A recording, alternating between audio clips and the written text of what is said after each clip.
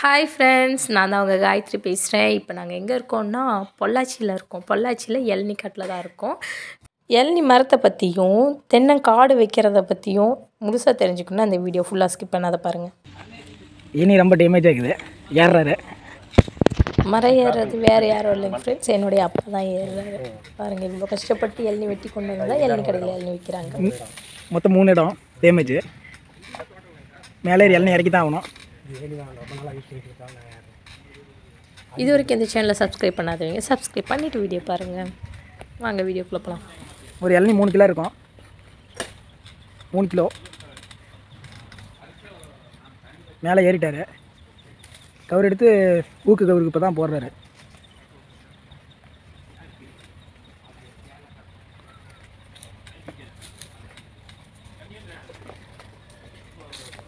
இந்த பக்கம் மட்டையில் தான் போட்டாகணும் வழி இல்லை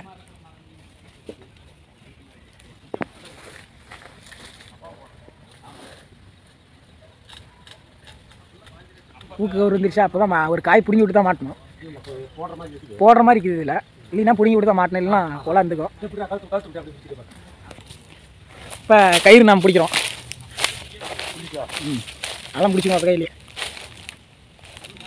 இப்போ மேலே இருக்கிறீங்க கொஞ்சம் லைட்டாக கீழே இறங்கி அந்த பக்கம் வாட்டம் பார்த்து வெட்டணும்.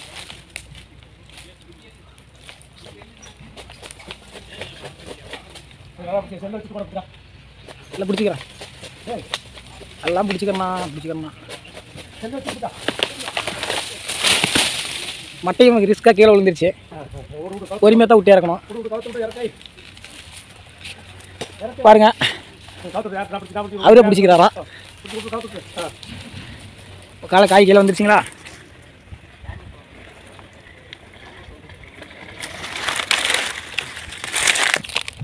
இப்போ அந்த கயிறை கலட்டணும் இப்போ மேலே அந்த உக்கை திரும்ப மேலே ரெட்டன் அனுப்பிச்சிடணும் மேலே திரும்ப. இந்த காய் வந்து மஞ்சள் காய் கரெக்டாக நாற்பது நாள் ஆகுது மூணு குலை வெட்டலாம். இப்போ காய் இறக்குறோம். ஆ. ஏய் கொலை விட்றா. ஆ ஒரு கொலைக்கு இருபத்தி நாலு காயிலேருந்து இருபத்தஞ்சி காய் வரைக்கும் வைக்குது. பார்த்துக்காங்க இது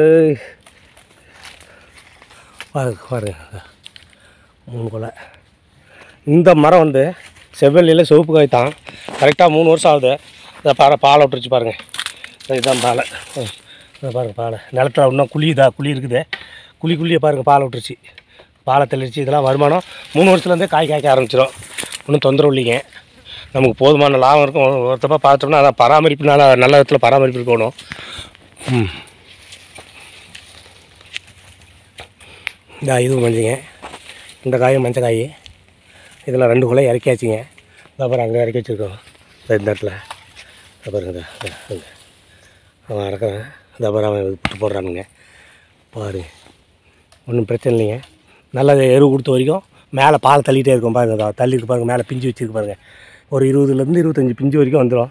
ஒன்றும் தொந்தரவு இல்லாமல் காய் காய்க்குங்க. பாருங்க இதில் பால் எடுத்துருச்சு வச்சு பாருங்கள் பாரு பாரு மேலே பால் இருக்குது இது காய் வெட்டியாச்சு. அடுத்து ஒரு பாஞ்சு இருபது நாளையில் இருபது நாளையில் காய் நாம் இது பண்ணிக்கலாம். வெட்டலாம் அடுத்தது. மாதத்தில் மாதத்தில் கரெக்டாக மாதம் மாதம் ஒரு மாதத்துக்கு வந்து முப்பது நாளையில் வந்து வெட்டினா ரெண்டு குலை வெட்டலாம். பாருங்கள் இதில் எல்லாமே வெட்டியாச்சு. அடுத்தது பால் பா பாலை பாருங்கள் பிஞ்சு எடுத்துருச்சு பாருங்கள் மேலே பிஞ்சு பாருங்கள் பா பிஞ்சு வச்சுருக்குது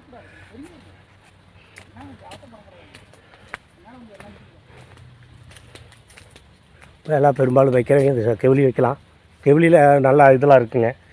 ஒரு வயிறு வலி இதனுடைய காயானாலும் இது நல்ல ஒரு இது இருக்குங்க ஆலப்பழாவில் வந்து இந்த காயினுடைய எண்ணெயை எடுத்து கால் வலிக்கு ரெடி ப ரெடி பண்ணுறாங்க இது காயே வந்து நாற்பது ரூபா வரைக்கும் சீசனில் எடுப்பாங்க. நாற்பது ரூபா வரைக்கும் இந்த காயை வாங்கிக்குவாங்க தேங்காயாக விட்டால் அது அப்படி காயாக விடும் போது மேலே வர கா பிஞ்சு வந்து வைக்காத போயிடும். அதுதான் காரணம். நாற்பது ரூபா வரைக்கும் அவங்க எடுப்பாங்க. ஆனால் அடுத்தது வந்து மேலே பாலை விட அது பாலை தள்ளாது. அப்போ பாலை தள்ளாத போச்சுன்னா மரம் வெறும் மரமாக போயிடும் அதனால தான் என்ன பண்ணிடுவாங்க? இளநிக்கு பெரும்பாலும் இளநிக்கு இது பண்ணிடுவாங்க. முன்னாடி பிரதமராக இருந்து பா வாஜ்பாய். வாஜ்பாய் வந்து இங்கே ஆலப்பழாவில் வந்து இந்த எண்ணெய் தான் இது பண்ணி தேய்ச்சிட்டு போனாங்க கால் வலிக்கு அதனால் கெவிலி வைக்கலாம். அதனால் ஒன்றும் தப்பு இல்லைங்க. அது தேங்காய் கூட்டோம்னா பாருங்கள் அங்கே களத்தில் கொட்டிருக்காங்க பாருங்கள் அங்கே நம்ம நம்ம தூரத்தில் தெரியுதுங்களா? இப்போ பாரு அங்கே இருக்குது அப்படி தேங்காய்க்கு விடுறதா விடுறதா இருந்தாலும் தேங்காய் விடலாம் நல்ல காப்பு காய்க்குங்க. காய் சட சடையாக பிடிக்கும். மரம் வந்து ஒரு இருபது இருபத்தஞ்சி வருஷம் மரம் பக்கத்தில் இருக்குது பாருங்கள் அது பச்சை. பச்சையாக இருந்தாலும் காப்பு சரியான காப்புங்க. வருஷத்தில் மூணு தடவை காய் வெட்டிடலாம். பாருங்கள் பிடிச்சி போயிருக்குது பாருங்கள் இங்கே காய் பாருங்க அது. களம் கொட்டியிருக்காங்க பாருங்கள் இது கொட்டியிருக்காங்க. பாரு மரத்தில் காய் பிடிச்சிட்டு பாருங்கள் இந்த மரத்தில் காய் பிடிச்சிருக்கு பாருங்கள் இந்த பச்சை காய். இந்த பாருங்கள் இது ஹைட்டு ஆழ்ந்தனால இவ்வளோ ஹைட்டு ஆழ்ந்தனால காய் தேங்காய் இளநீ வெட்டுறதுலைங்க பாரு காய் பிடிக்க பாரு காய். பாருங்க காய். சுற்றியுமே மா மா மா- மூணு மாதத்துக்கு ஒருக்கா வந்து இது காய் வெட்டிடலாம். அப்படி அவங்க கொட்டி இருக்கும்போது என்ன ஆகுதுன்னா பாருங்கள் காயில் முளைப்பே முளைச்சிருச்சு பாருங்கள் பாரு முளைப்பு வரைக்கும் காய் கொண்டு வந்து ஒட்டையாக குமிச்சிருக்கும் போது பா காயை முளைச்சிருச்சு பாருங்கள் இதா பாருங்கள் காய் முளைப்பு வச்சு பாருங்க இதா. தெரியுங்களா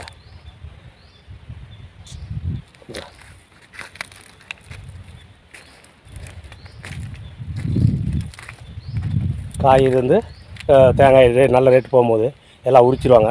ஆனால் அப்படி கொட்டி வச்சுருக்கும் போது முளைப்பே முளைச்சிச்சு பாருங்க. நாங்கள் ஒட்டையாக கொட்டி வச்சிருந்து பாருங்க அவ்வளோ அங்கே வரைக்கும் காய் இருக்குது. இதெல்லாம் தேங்காய்ங்க. அது தானே பார்த்துங்க பாரு. இந்த பக்கம்லாம் இருக்குது பாரு. இந்த தேங்காயில் வந்து எந்த காலத்துக்கு கொண்டும் வருமானம்லாம் குறையாதுங்க. மூணு மாதத்துக்கு ஒருக்கா தேங்காய் இறக்கிடலாம். பாரு நல்லா மழை பழிச்சு போச்சு பாருங்கள் பாருங்கள் பாருங்க. காயெல்லாம் பாருங்கள் காயெல்லாம் சைஸு பெருசாக வருங்க. சாதாரண சைஸ் இல்லைங்க. பாருங்கள் பாருங்க. காயில் தூக்க முடியாத அளவுக்கு பெரிய காய் தான் இத்த பெரிய காய். இத்த பெரிய காய் வருங்க. இந்த காய்.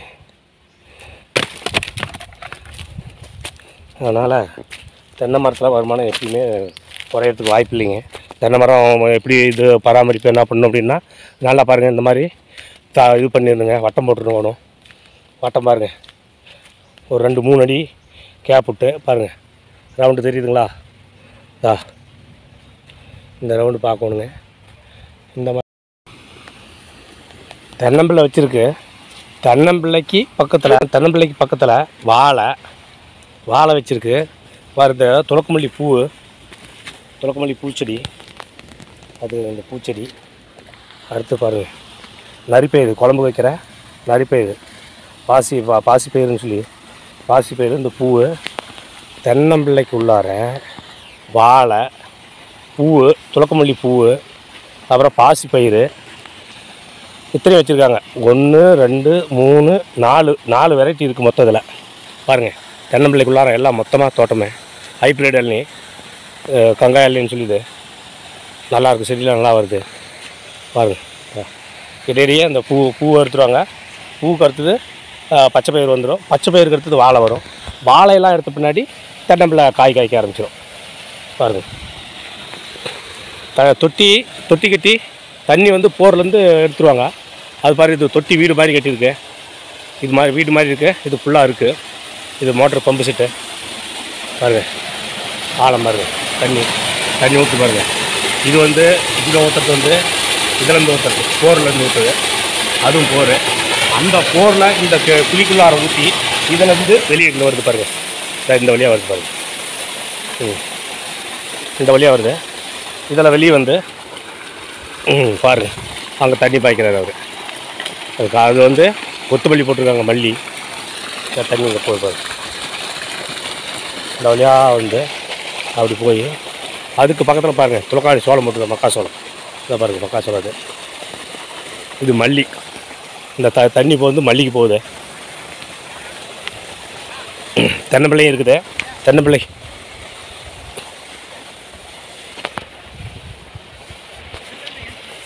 சும்மா போட்டு இதை மல்லி செடி இது மல்லி.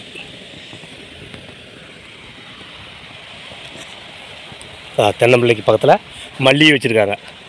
அதுக்கு பக்கத்தில் பாருங்கள் கம்பு இருக்குது ஓகே ஃப்ரெண்ட்ஸ் இதோட நாங்கள் கிளம்புறோம். இந்த வீடியோ பிடிச்சிருந்தா லைக் பண்ணிடுங்க அப்படியே என் சேனலை சப்ஸ்கிரைப் பண்ணி சப்போர்ட் பண்ண மறந்துடாதீங்க. இந்த மாதிரி காடு யாராவது சும்மா வச்சு விவசாயம் பண்ணாத உட்காந்துருந்தாங்கன்னா அவங்களுக்கு இந்த வீடியோவை ஷேர் பண்ணி இந்த மாதிரிலாம் பண்ணலான்னு சொல்லி ஐடியா கொடுங்க. ஓகே நெக்ஸ்ட் வீடியோவில் சந்திப்போம். பாய்